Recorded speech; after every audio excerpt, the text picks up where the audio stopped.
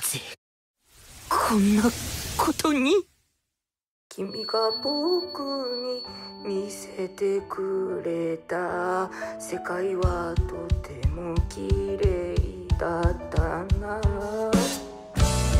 So the winter anime season is coming to a close and we have the spring 2024 season right around the corner with some big hits coming up like Kaiju number 8 and also My Hero Academia. Gotta catch up on some things from the winter season just in case you missed it. Keep in mind in the last video we already talked about Frieren Apothecary Diaries and also Undead Unluck so we won't be talking about those in this video and also keep in mind these are all going to be the first season anime so there won't be any sequels on this list but hey if this is something you think you might be interested in make sure to like, comment, subscribe, turn the bell, do all those nice things. We're gonna catch you up on all the animes that you might have missed. So hey, make sure to stay tuned and hey, let's go ahead and hop straight into this video.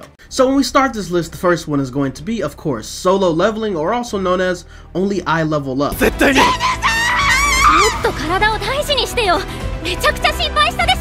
And this one is from the fantasy drama. It's one of the biggest Korean webtoons. You've heard of stories where the parties go on raids and defeat the dungeon boss, but this story is a little different. Dungeon portals open in the world, and there's a time limit to close these dungeons. If you don't close them, then all the creatures that's inside the dungeon will come into the real world. And dungeon raiding is a business ran by corporations. This story follows Sung Jinwoo, the weakest hunter in the world. After an innocent and near-death experience, Sung Jinwoo has a mysterious thing happen, and he gets stronger by leveling himself up, but keeping it a secret while also trying to make money to provide for his family. This show has some nice action. The main character is also willing to go as far as he needs to to reach his goal. There's a lot of gore, interesting creatures, and hey, this is definitely your fantasy fix if you're needing something with a little bit of a darker take on the fantasy genre. As long as I'm alive, I'll fight with all I have. If it makes me stronger, I'll follow this rule no matter how ridiculous it is! The next one is going to be Delicious in Dungeon.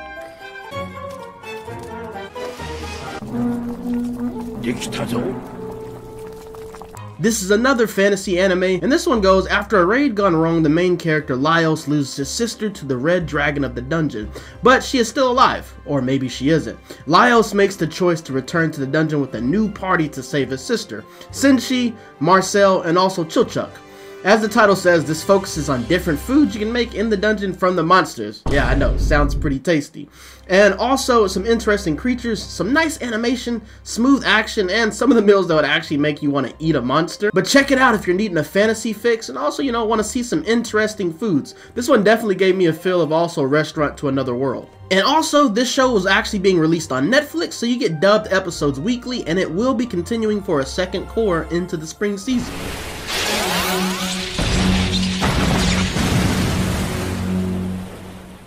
The next one is going to be A Sign of Affection, our romance of the season. の世界生まれつき音が音じゃない世界 And this one is basically like Silent Voice but without the sadness. And the story follows college student Yuki. She has dealt with being deaf her whole life and makes it through life with sign language. After a few encounters, she falls in love with Itsuomi, a mysterious guy who, you know, kind of goes overseas and out of the country a lot. Definitely a red flag, but they're the perfect match, as the story would say. It focuses on other characters' relationships, kind of reminds me a little bit of Horimiya. It has unique character designs, and it's pretty nice to have an adult atmosphere compared to the typical childhood romances where you see them in high school or middle school. This one is actually set with them in college, and if you're looking for an adult romance, I definitely recommend you check this one out.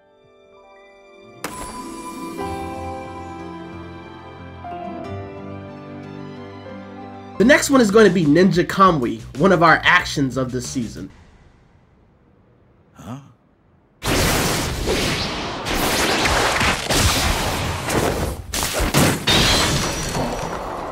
And this one's actually based on an actual manga, but they made some different changes. It was also, you know, still called Kamui, but it was a little bit different. And this one has a little bit more of an American touch, and it has a Korean producer. And this one follows Joe Higan, former ninja who abandoned his creed to live a happy life.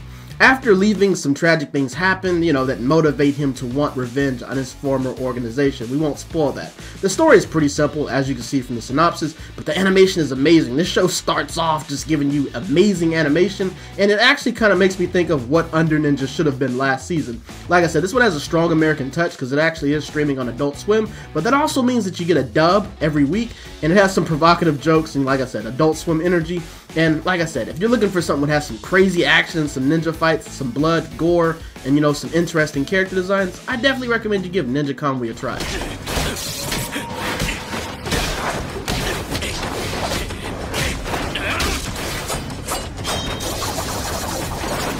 And the last one on our list is going to be Buchigiri.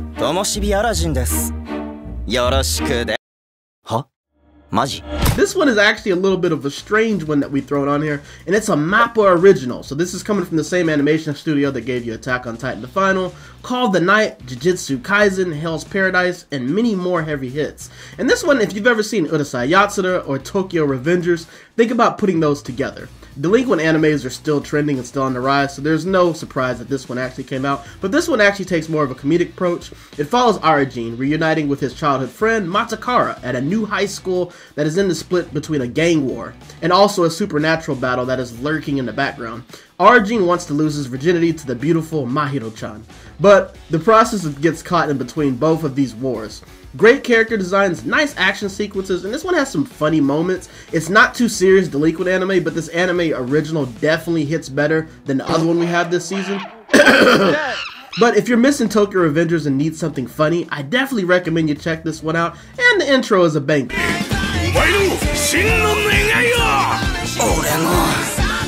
願いは。どう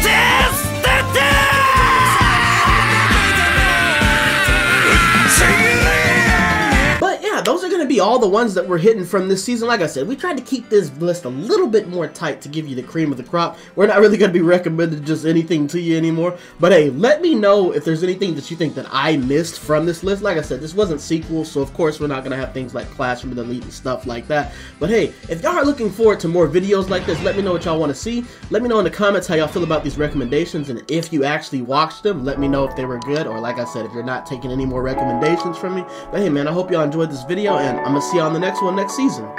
We out.